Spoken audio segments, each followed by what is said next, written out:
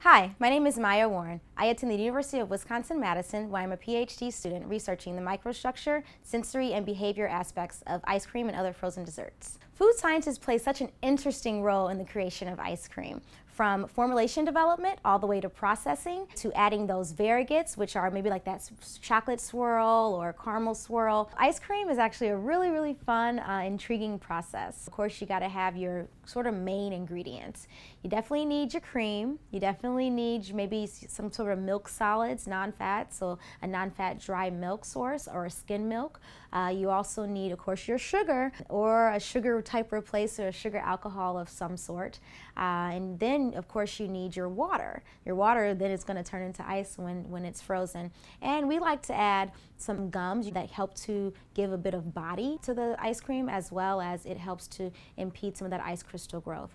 And then you can add emulsifiers. And those help that partial coalescence occur. And partial coalescence is so critical in ice cream because it's what we attribute to creaminess. So you need to pasteurize your product and then you need to homogenize. After homogenization occurs, you then usually then would age your product for 4 to 24 hours. You then go into uh, freezing. So you'll put your ice cream mix into your um, freezer and you'll start freezing the product. After freezing, of course, you'll package it and then you'll store it in your hardening freezer or your blast freezer. And then, of course, it goes out, loads into a truck for transport to your local grocery store. Making ice cream at home uh, versus ice cream that's being produced commercially yields very different results. And that really all has to do with the freezer itself. The slower you freeze your product, the more time your ice crystals have to grow. And so imagine it taking 30 minutes to freeze a product versus when they're making a product commercially, it's maybe taking 30 seconds inside of the freezer itself. When you go to the store, you'll see some ice creams labeled as a premium ice cream, a super premium, or maybe even like an economy brand. The differences in those ice creams all have to do with the fat level. Legal definition United States ice cream must be 10% or more milk fat.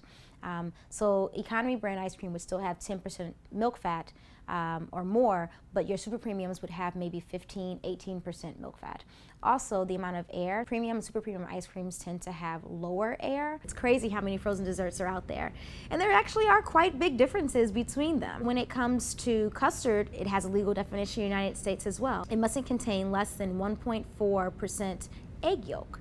So that's what kind of makes custard seem a bit more rich than ice cream, is that egg yolk. Soft serve really is just soft gelato, soft ice cream, soft frozen yogurt, you name it, that comes from the straight from the freezer itself. And the unique thing about gelato is that in the United States, we actually don't have a legal definition. But then one of the main differences in gelato is gelato tends to have lower fat than our traditional ice cream. On the market, you'll see quite a few products um, that are now low fat or fat free. What food scientists end up doing is that maybe they will uh, freeze at a lower temperature faster and so you create smaller ice crystals and so when it hits your palate you sort of think that it's creamier than it really is because you don't have ice crystals there sort of impeding um, your taste receptors or your, your, your touch receptors on your tongue.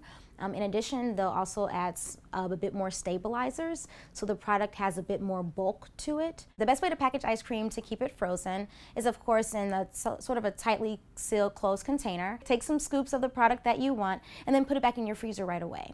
So you're not allowing it to warm up as much, but also, you know, you should probably eat what's in your home freezer within about a week of, of purchasing because your home freezers are not meant to store ice cream for a very, very long time.